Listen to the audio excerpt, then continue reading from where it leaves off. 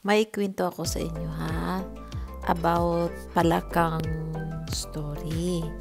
Kasi may driver gusto niya gayahin ang palaka kung gaano kataas uh, lumukso gayon. Muambak bitaw.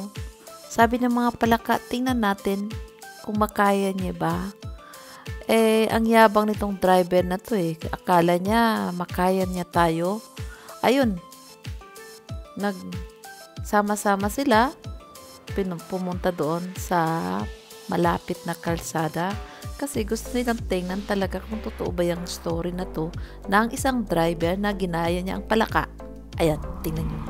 Ayun. O, oh, nabungis-ngis yung ano yan, ano, mga niya, simot, simot ata yan.